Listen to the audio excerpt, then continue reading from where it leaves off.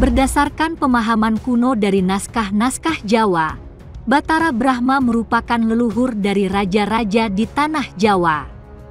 Di dalam kitab Al-Kamil fi Al-Tarikh tulisan Ibnu Athir, menyatakan bahwa Bani Jawa yang di dalamnya termasuk bangsa Jawa, Sunda, Melayu, Sumatera, Bugis, dan sebagainya adalah keturunan Nabi Ibrahim alaihi salam.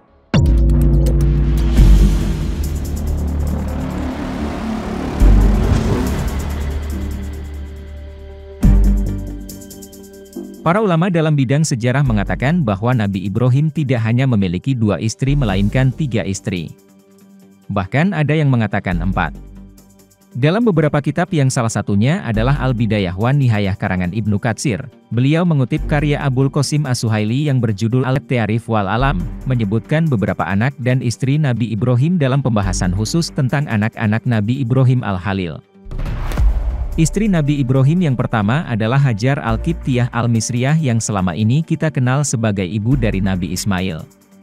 Yang kedua adalah Sarah binti paman Nabi Ibrahim. Beliau merupakan ibu dari Nabi Ishak, cikal bakal dari bangsa Yahudi. Setelah itu, istri ketiganya bernama Konturah binti Yaktan Al-Kananiyah. Adapun istrinya yang keempat adalah Hajun binti Amin.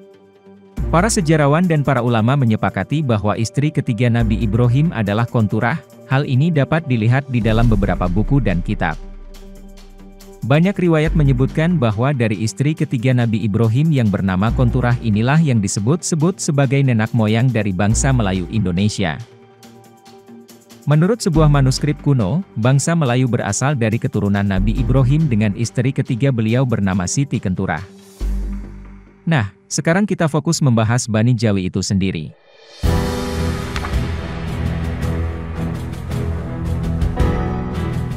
Di dalam mitologi Jawa diceritakan bahwa salah satu leluhur bangsa Jawa adalah Batara Brahma atau Sri Maharaja Sunda yang bermukim di Gunung Mahera.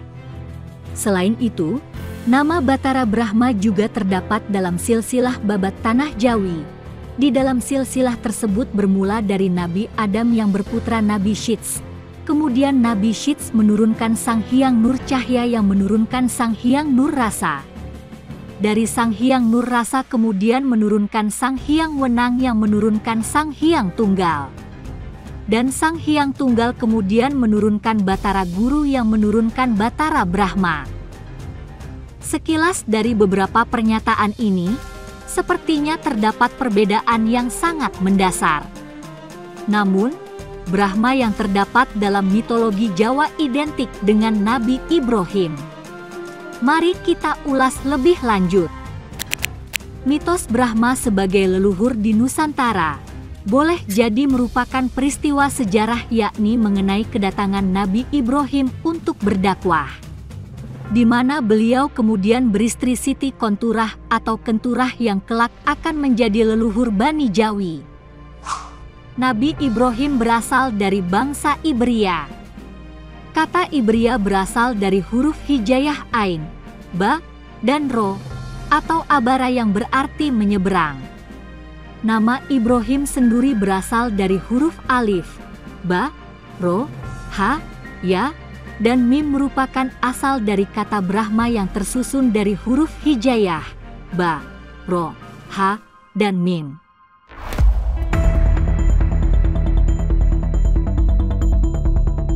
Ada beberapa fakta yang menguatkan, kalau Brahma yang terdapat dalam mitologi Jawa adalah Nabi Ibrahim.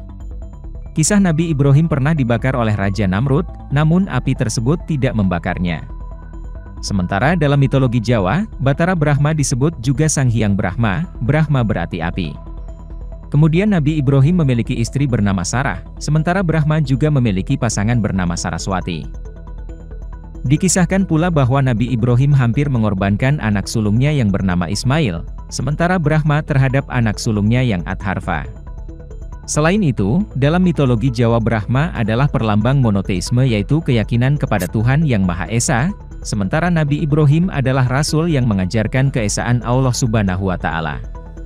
Ajaran monoteisme di dalam kitab Weda pada mulanya berasal dari Brahma, jadi makna awal dari Brahma bukanlah pencipta melainkan pembawa ajaran dari Yang Maha Pencipta. Bani Jawi berasal dari dua suku kata, yaitu Bani yang berarti kaum atau kelompok dan Jawi atau Jiwi yang berasal dari dua suku kata, yakni Ji artinya satu, Wi artinya Widi atau Tuhan. Maka makna dari Bani Jawi adalah kaum yang meyakini adanya satu Tuhan. Bani Jawi sebagai keturunan Nabi Ibrahim semakin nyata, Ketika baru-baru ini penelitian dari seorang profesor dari Universitas di Malaysia memperoleh data bahwa di dalam DNA Melayu terdapat 27% varian Mediterranean yang merupakan DNA bangsa-bangsa Eurosematik. Varian Mediterranean sendiri terdapat juga di DNA keturunan Nabi Ibrahim yang lain, seperti pada bangsa Arab dan Bani Israel. Selanjutnya, Nabi Ibrahim mendirikan Baitullah di Mekah, sementara Brahma membangun rumah Tuhan agar Tuhan diingat di sana. Kitab Weda, sebenarnya memberikan petunjuk tentang Ka'bah yang didirikan oleh Nabi Ibrahim.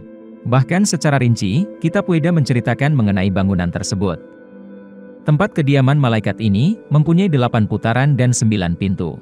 Makna delapan putaran adalah delapan garis alam yang mengelilingi wilayah Mekah, di antara perbukitan yaitu Jabal Khalid, Jabal Kaikan, Jabal Hindi, Jabal Lala, Jabal Kada, Jabal Hadida, Jabal Abi Kubais, dan Jabal Umar.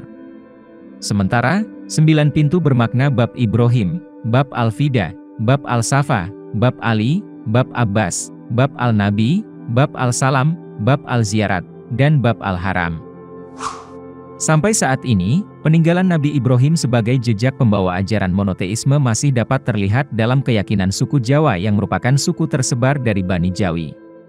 Suku Jawa sudah sejak dahulu menganut monoteisme seperti keyakinan adanya Sang Hyang Widi atau Sang Hyang Tunggal, yaitu Sang Hyang Sangkan Paraning Dumadi atau zat pencipta alam semesta.